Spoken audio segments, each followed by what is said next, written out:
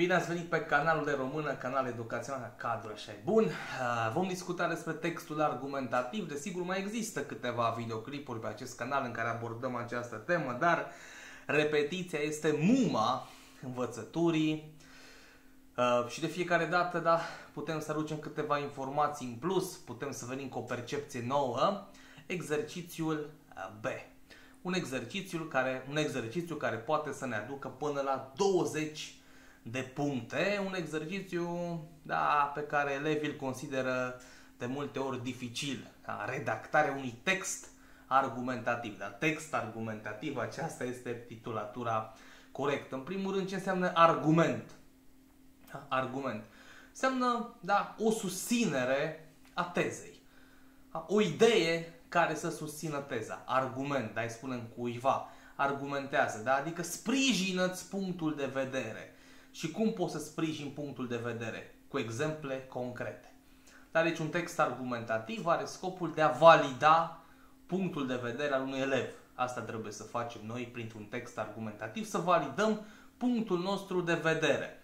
Și cum putem să-l validăm? Doar cu exemple concrete. Desigur, există o structură a textului argumentativ, o structură pe care trebuie să o respectăm.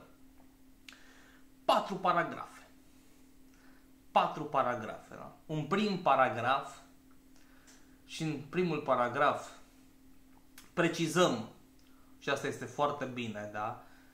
nu este neapărat da, o constrângere, dar este foarte bine, recomand să precizăm o privire pe ansamblu a problematicii puse în discuție. Da? Trebuie să urmărim fragmentul suport, să vedem care este tema fragmentului respectiv. Este tema călătoriei este tema profesiei, da? este tema familiei și apoi definim printr-o perspectivă proprie călătoria, familia, da? profesia.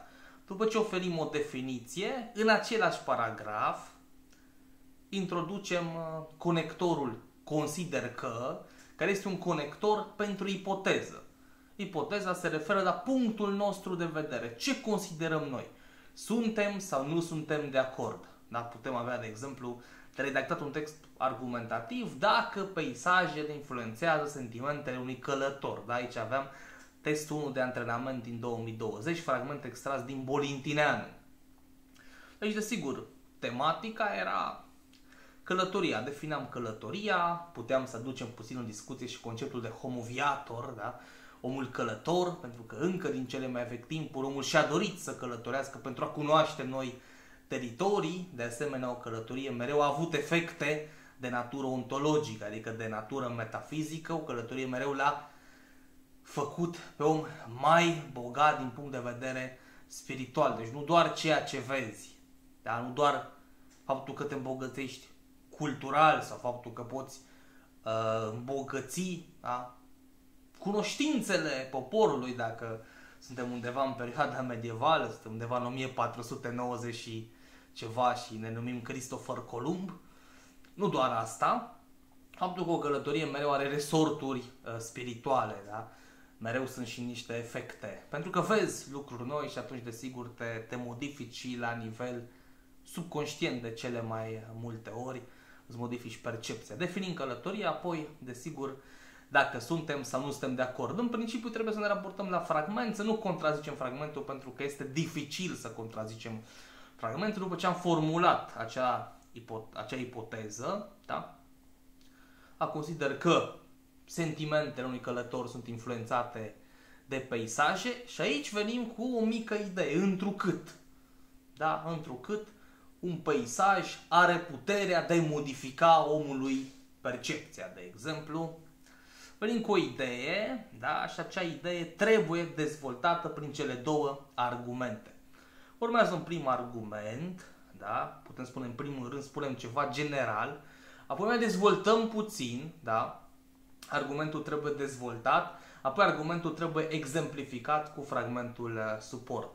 Da, dacă mi amintesc bine, mergem tot pe fragmentul ăla, testul 1 sau orice alt, orice alt fragment de la teste de antrenament, simulări, cărți, le-am făcut pe toate, am lucrat 500.000 de variante până până acum, desigur că elevii pe care am pregătit, cursuri.voxvalaforum.ro, nu uitați, foarte important, vinerea de la 11 stăm pe Google Meet, acolo facem texte argumentative, facem uh, subiectul 1, subiectul 2 în scris, subiectul 3 oral, da, recapitulăm tot.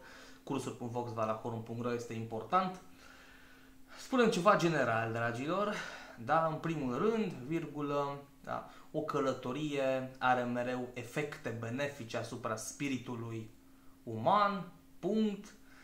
Uh, persoana poate să admire un peisaj uh, care să îi propage diverse stări interioare, să-l conducă spre culmi neexplorate, culmi neexplorate. Și atunci venim cu o raportare la fragmentul suport, da? Și putem spune, da, și putem spune de exemplu, așa cum vreți din fragmentul suport sau prin raportare la fragmentul suport extras din uh, Dimitrie Bolintineanu, autorul călătorește cu vaporul și observă Bosforul uh, care era extraordinar din punct de vedere vizual. Punct, acesta se modifica în permanență și ochiul, ochiul uh,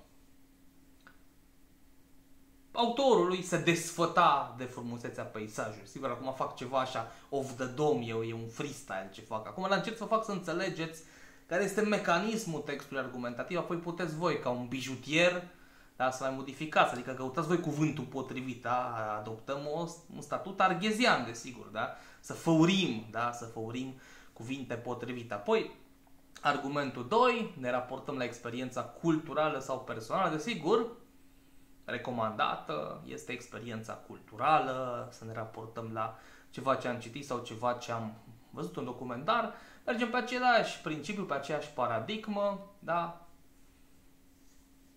Spunem ceva general, dezvoltăm puțin, apoi ceea ce spunem general trebuie să neapărat să cuantificăm cu un exemplu concret, da? Argument, exemplu, argument, exemplu, apoi concluzia care se raportează la ceea ce am spus până acum, o concluzie de 4-5 rânduri. De asemenea, trebuie să fiți atenți uh, la ortografie, la punctuație, să aveți cele 150 de cuvinte, minim 150 de cuvinte. Nu este o cerință foarte, foarte dificilă. Textul trebuie să curgă, este foarte important. Nu vă complicați cu termeni foarte, foarte filozofici, dar mai bine să fie logic, să se înțeleagă, decât să încercați să folosiți termeni foarte filozofici și atunci uh, să fie îngreunat cumva. Nu foarte multe virgule, da? Un punct, uh, două rânduri, două rânduri și jumătate, apoi un punct, ca să nu îngreunăm percepț- percepția cititorului, da? Pentru că dacă punem foarte multe virgule, nu suntem Marcel Proust. Trebuie să scriem logic. Foarte importantă logica și ceea ce transmitem să se înțeleagă. Da? Pentru că se, se punctează nu este foarte dificil. Dacă v-a plăcut acest videoclip, nu uitați să vă abonați, să dați share, să dați like la acest uh, videoclip, să ajungă în trending, să, să-l batem pe gheboasă. Mai cred că dacă aș ajunge în trending cu un videoclip, aș face ceva provocare nebună, nu știu, aș arunca de pe geam. Bine, stau la parter, dar nu contează, intenția. Uh, dar așa ceva nu se va întâmpla uh, niciodată cursuri.voxvalaforum.ro Bateți acolo în browser, dar aveți și linkul în descriere. Cumpărați, costă 100 de lei pe lună, deci un abonament uh, ieftin. Având în vedere că primiți și videoclipuri, aveți peste 10 ore de videoclipuri filmate la calitate Full HD, nu cu telefonul, cu ce filmez acum, cu camera, camera video, da, înregistrat frumos cu lavariera, modernism novinescean